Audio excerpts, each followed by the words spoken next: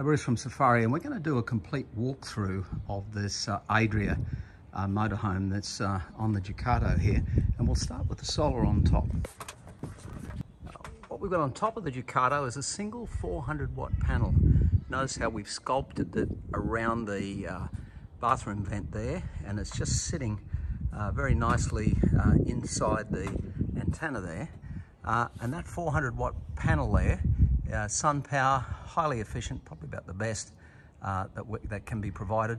We have it um, screwed on to the awning on that side and then we've just got it second on this side so um, it won't be going anywhere. Now let's go and have a look at the back. So the task here at the back was to uh, remove the gas bottles and uh, the gas cooktop but to get the whole power plant in where the gas bottles were.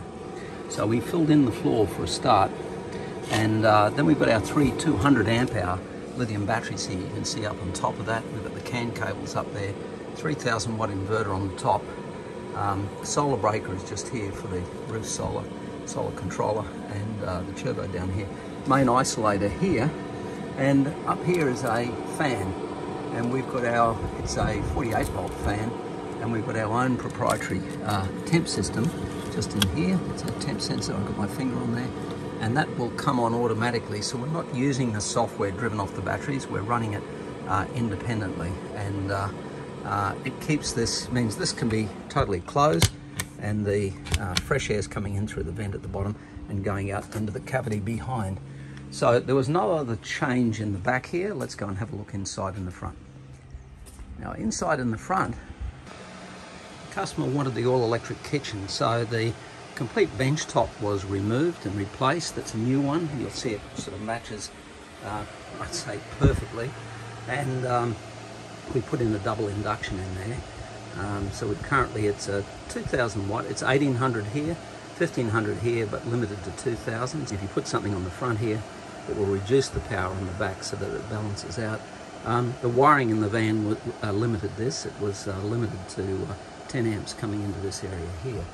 Now the no change at all to the aircon, uh, no change um, in the seat area at all, but let's have a look underneath the seat. And it's in the front seat area where all the smarts are, to be honest. Um, so we take down this front cover here, and what you see in here is uh, there's our Scotty tucked in there, and it's connected. You can see the 48 volt positive and 12 volt positive here, and its output is connected on the 12 volt side to the previous battery system that was installed in underneath here. We've added in a smart shunt up here. This is just so that I can see the pin voltages. And um, we're still using the isolator here on the 12 volt side. So uh, this is now taking power coming in on the on this lead here, which comes in uh, from the uh, batteries under here in the alternator. This vehicle's fitted with a 200 amp alternator and uh, that comes into Scotty and then comes out on the other side and uh, let's have a look again at the power that we're able to pull uh, from Scotty. So we've got the water boiling away here to pull down the load. We're pulling out uh, 2000 watts out of the battery, 1896 there, 1900. Uh, that's maximizing the solar power coming in, 173. It's quite early in the morning here at the moment. It's just after nine in winter. And now I'm going to start the engine and let's have a look at the DC power. Tricky being a one-man demo. Uh, let's have a look. Power's now ramping up. So we're now at uh, 15, 1600, 1700. I'm not sitting in the driver's seat. I'm not revving it up any more than uh, just standard idle. And there we are doing 2145 watts. So we've had a few questions on this on the since the last YouTube video. So that power that's coming in there is all coming out from uh, this device here, Scotty in the front. And it will get to about 50 degrees C, maybe a little bit cooler because we're in the air-conditioned cab. Uh, radiates the heat out and it's a DC to DC. Now, this is what I call the acid test. Uh, we've got the aircon running, you can see in the watts there, the 2649.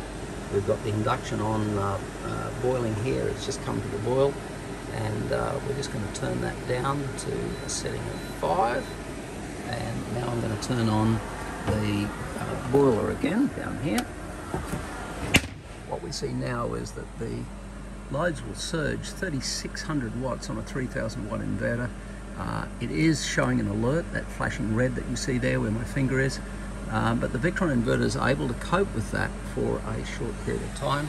The induction here is boiling its head off and the aircon is going like uh, crazy in the background.